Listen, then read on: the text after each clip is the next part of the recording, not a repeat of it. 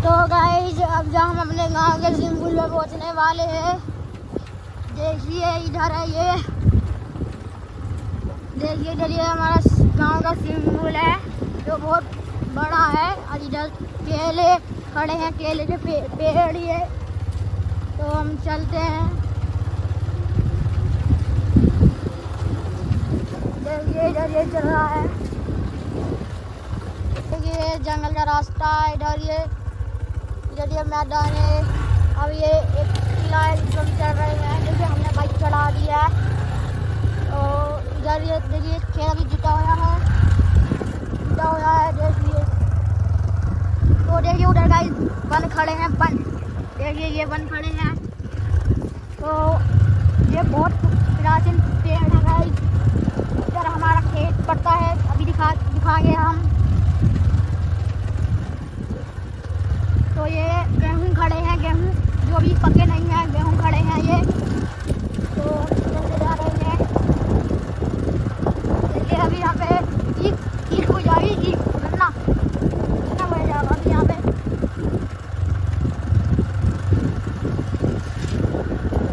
ये ये खड़े हैं। देखिए इधर ये पंगा है, जो वो हैं थे ये ये गेहूँ पक रहे हैं अभी, थोड़े थोड़े। देखिए, ये हमारे जंगल का रास्ता जा रहा है ये हमारा हमारे पूरे जंगल का रास्ता है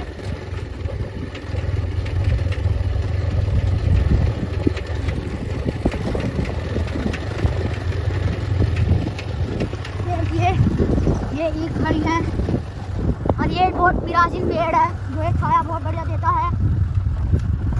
देखिए, बहुत दूर लोग है हमारे गाँव के जंगल है। तो बस आज की वीडियो में तो गाइस आपसे भी अच्छा लगा है हमारे ब्लॉग पर। आइए, हम जंगल आए थे आज। खाना देने मजदूरों को आइए, आपको दिखाते हैं। यहाँ पे नदी भी है, बहुत पुरानी नदी है। तो ये कुछ ऐसा रास्ता है, इधर ये आइए। ये ये कितने पेड़ खड़े हैं इधर ये। देखिए आइए आइए यहाँ पे घास भी बहुत है गाइस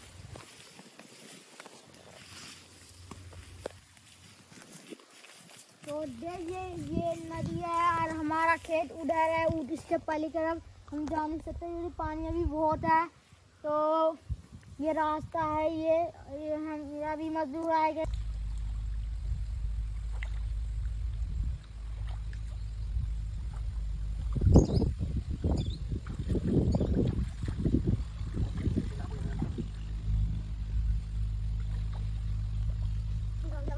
ये बहुत पुरानी नदी है ये बहुत दूर से आती है। तो देख लीजिए आप, यहाँ पे कितने जंगल है और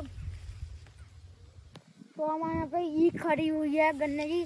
तो आइए आप और कुछ भी दिखाते हैं। देखिए, ये इधर कितनी घास खड़ी है और ये सिंबल का पेड़ खड़ा है। अब हम चलते हैं अभी आगे को। तो आइए हम चलते हैं। और दिखा, दिखाते हैं। ये छोटा बाँस का पेड़ खड़ा है, बाँस का। और ये पीपल का पेड़ खड़ा है इधर, पीपल का जो भी चल रहा है। और ये तो आपको पता ही होगा, ये जामुन का पेड़ है, जामुन का। और इस पेड़ का नाम मेरे को भी पता नहीं है। और ये सिंबल का पेड़ है। को नहीं पता देखिए उधर कितने जंगल है।